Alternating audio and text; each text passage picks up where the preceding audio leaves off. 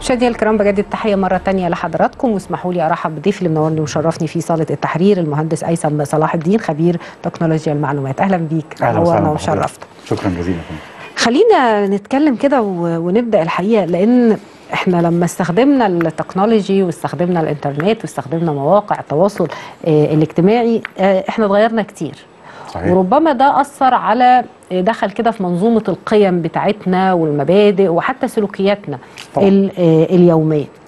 آه، وعندي إحساس إن إحنا بدأنا نتآكل فيما يخص عاداتنا وتقاليدنا. تأثير ده علينا إزاي؟ وهل استخداماتنا هي اللي عم... إحنا اللي بنستخدم غلط ولا هي اللي غلط؟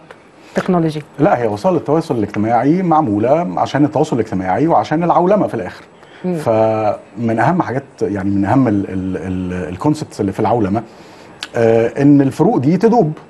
فبالتالي ده أثر على عاداتنا وأثر على تقاليدنا وابتدينا نكتسب ثقافات وهويات أخرى غير الهوية الحقيقية للمواطن المصري اللي مترسخة عبر السنين اللي فاتت دي كلها. كويس. ف... فده طبعا من من أحد المخاطر الموجودة على آه، آه، وسائل التواصل الاجتماعي. المخاطر دي بتزيد أكتر لو كان سن المتلقي أصغر. يعني كل ما كان سن المتلقي أصغر كل ما كان بيتأثر أكتر بالثقافات الأخرى وبتتغير مفاهيمه خاصة لو كان طفل مثلا ولسه في إطار تكوين الشخصية وتكوين ال ال ال المعتقدات وهكذا يعني. فبيبقى سهل جدا إنها تتهز وإنها تتغير. فده طبعا أحد مخاطر مواقع التواصل الاجتماعي بشكل عام يعني. طيب إيه الاستخدامات؟ يعني هل إحنا ممكن نستخدمها بطريقة أفضل من كده؟ آه آه طبعا أكيد لأنها في الآخر وسيلة لنشر المعلومة. Okay. يعني أنا ممكن أتعلم مثلا عن عن طريق الإنترنت تعليم عن بعد وهكذا. ممكن آخد كورسات ممكن ألاقي آه وظائف freelancing أقدر أعملها وأنا قاعد في البيت وأكسب فلوس بالدولار وأنا وأنا قاعد في البيت. فالإنترنت في الآخر زي حاجة سلاح ذو حدين. آه ما أنا باخد أكسب فلوس بس.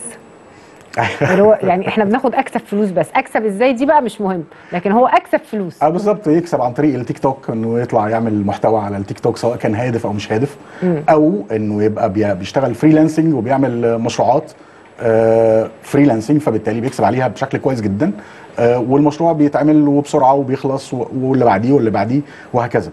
آه، الفكرة بقى في المحتوى اللي إحنا بنحطه على الإنترنت عامل إزاي؟ هو ده اللي بيفرق. آه، آه، زي ما أشرت من شوية مثلا لجزئية التيك توك والمحتوى في محتوى هادف على التيك توك وفي محتوى فقط مثير للجدل.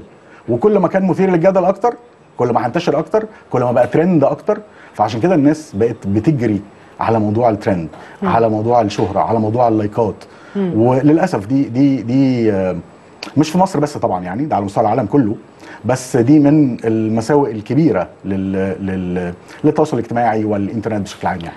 هو إحنا مثلا معروف عندنا عدد ساعات اللي ممكن يقضيها المواطن المصري أو الإنسان المصري يعني على وسائل التواصل الاجتماعي وفي مقارنات مثلا ما بينها وما بين الإنسان في في الدول الأخرى أوروبا أمريكا آه طبعا في احصائيات لكده.